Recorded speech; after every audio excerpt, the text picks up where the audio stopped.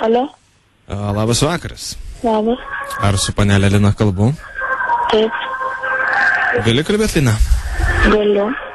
Ar čia ta pati panelė, kuri atlieka praktiką, kaip aš suprantu, Klaipėdos apygardos teisme, ar ne? Taip, Malonu. Laisvidas Tulutė skambina. Aš dirbu Klaipėdos apygardos teisme, kažkaip pastebėjau praeitą savaitę tave tik kartą. Ir O tu galėtum gal kur nors kur toliau nueit pakalbėti? galiu. Nes atrodo, kad Turkijai būtum. Nu, Nu, barankignu. um, Ar dera taip praktikantai, kurie dirba tokioje atsakingo įstaigoje, kalbėti pradėti žodį nu? atsiprašau. Atsiprašau. Nebijok, aš tikrai nesu kažkoks rakštis ar kažką tiesiog, na, žinai, įsilavinimas daro savo. Aš galvoju, kad kiekvienas teisininkas ir dirbantis Klaipėdos apygardos teisme turėtų kalbėti lietuviškai su tam tikrom taisyklėm ir, ir panašiai. Mhm. Tai pradėkime iš naujo, Lina. Labas vakaras. Labas vakaras. Tu tokia meguista ar, ar kas tai yra? Ne, aš dabar esu pasimetus. A, esi pasimetus, ar ne?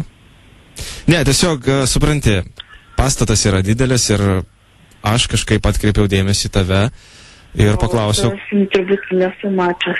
a, nežinau, ar esi. ma- Mano vardas Lai. Telefono numerį gavai? Iš kur gavau tavo telefono numerį, o tu nebuvai palikus Klaipėdos apygardos teismo darbuotojams? Ne. Nebuvai, ar ne? Tada reiškia, aš, aš gavau iš tavo mokslo įstaigos. Mhm. Nežinau, ką pasakyti. Nieko ir nesakyk, aš tiesiog skambinu, nu, nebijok, aš nesu kažkoks ištvirkęs ar panašiai. A, a, istorijos paklausyk, aš tiesiog ėjau pietauti, žinai, ir pamačiau tokią, na, nekuklę mergaitę, kuri šlaistėsi Klaipėdos apygardos teismo koridoriais ir taip kažkaip taip net paklausiau kolegų, kas čia yra tokia, sako, čia yra nauja praktikantė. Aha, sakau, praktikantė. Ir taip vat užsigalvoju apie tave ir sakau, gal reikia susipažinti su tavim. Nekuklė. Nu, nekuklė, tu man pasirodė tokia, tokio, a, kaip čia pasakyti. Žinai, mano skonis yra toks. Man patinka tokios moteriškos moteris, pasitempusios ir man bent tą akimirką pasirodė, kad atitinki mano kriterijus. Tai tiek ir yra. Aš net realiai tavo vardo nežinojau, kol nepasakė. Aha. Ir pirmą kartą girčiu dabar tavo balsą.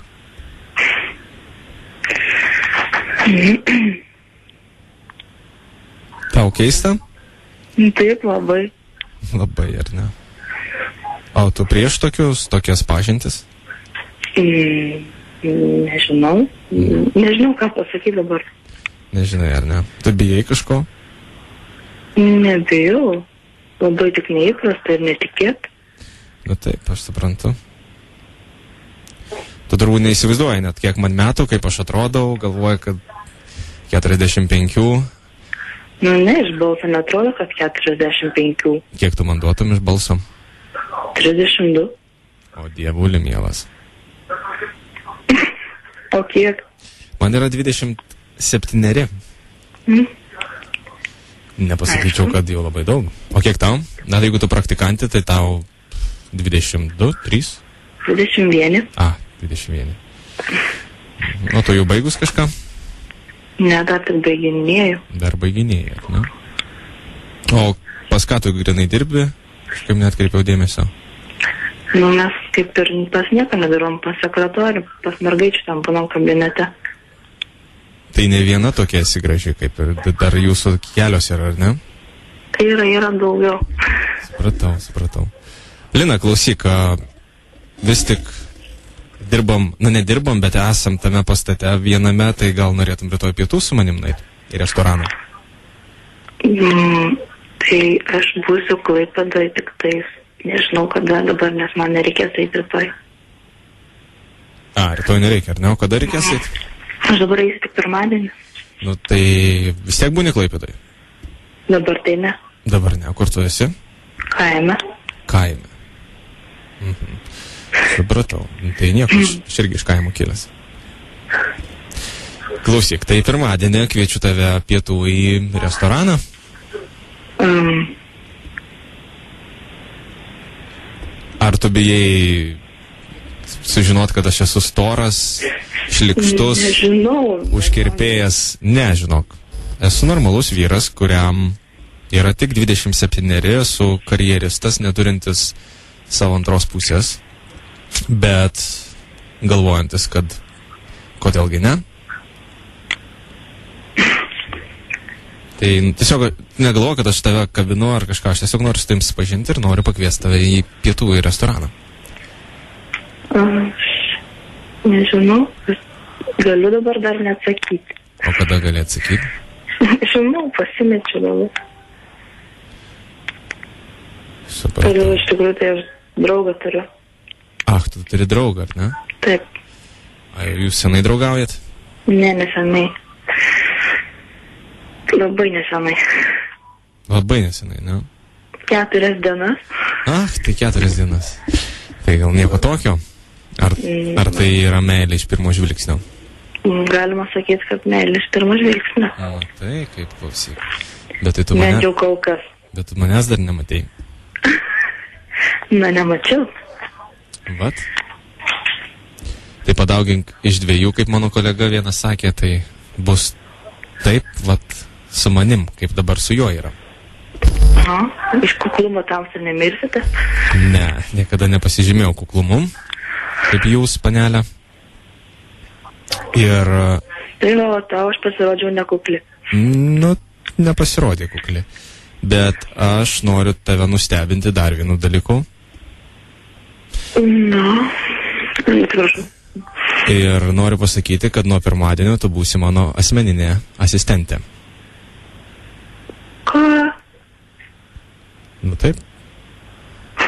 O, o. Radai būdą, ar vis tiek? Taip, radau būdą, nes vis tik su praktikantais mes galime daryti, ką nori ir kur nori juos siūsti ir panašiai. Tai mane kankinsi darbai? Ne, kaip tik tu man atneši kavą, a, pasirūpinsi mano dienotvarkę, važiuosi su manim pietų. A, ką dar? Nesakau, kad klosi mano lovą, bet a, tiesiog būsim geri draugai. Aišku.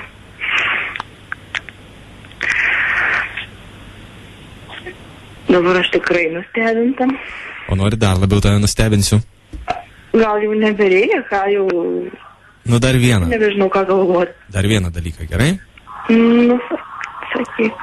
Zip FM.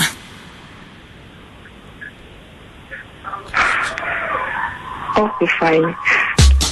Labas, mergaitė, tave trukdo radio stotis ZPFM radistas Jonas iš Vilniaus. Skambinam. Atseit Laisvidas, koks ten Tulevičius. Pro... Ne, nedirbu ten, žinok, iš viso aš juokauju ir apgavau tave. Aš labai mėlau. Tave užregistravo, to pasakysiu, kas žinok. Uh, Audra. Nu, dabar tie būdo neklausosi, tegul žino, kad aš labai ją myliu kaip gerą draugę.